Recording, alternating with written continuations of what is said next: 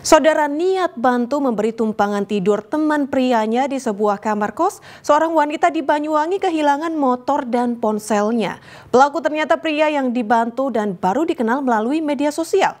Hasil penyelidikan polisi, pelaku seorang residivis yang sudah pernah dipenjara dengan kasus yang sama. Paribahasa air susu dibalas dengan air tuba. Barangkali cocok untuk pencuri di genteng Banyuwangi ini. Bukannya berterima kasih sudah diberi tumpangan tidur oleh teman wanitanya. Pria bernama Rizky Yuliana, 28 tahun asal Kabupaten Ciamis, Jawa Barat ini malah mencuri motor dan ponsel. Pelaku menggondol motor dan ponsel saat korban bernama Kinanti Indah tertidur pulas di sebuah kamar kos.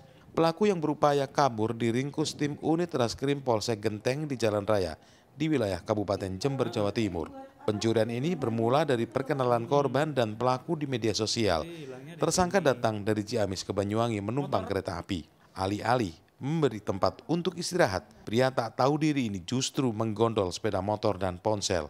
Korban kemudian melapor kepada polisi dan tak sampai 24 jam petugas menangkap pelaku. Dari hasil penyelidikan, pelaku ternyata seorang residivis dalam kasus yang sama. Lokasi kendaraan sama handphone saya itu dari keterangan Pak Polisi berpindah-pindah gitu. Usaha login email juga karena kan saya nggak hafal nomor kontak saya. Saya login email ternyata ada second verification ke handphone saya yang lama. Nah terus uh, dia pencet tidak. Saya coba login di laptop.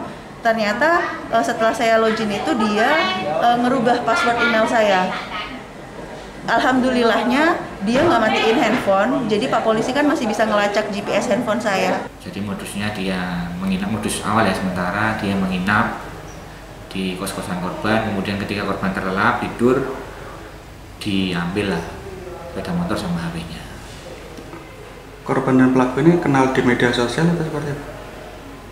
kenalnya di media sosial di aplikasi.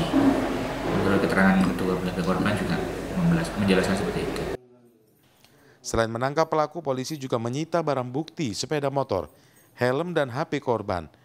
Polisi menjerat pelaku dengan pasal 362 KUHP tentang pencurian dengan ancaman hukuman maksimal 5 tahun kurungan penjara. Taufik Ferdiansyah melaporkan dari Banyuwangi.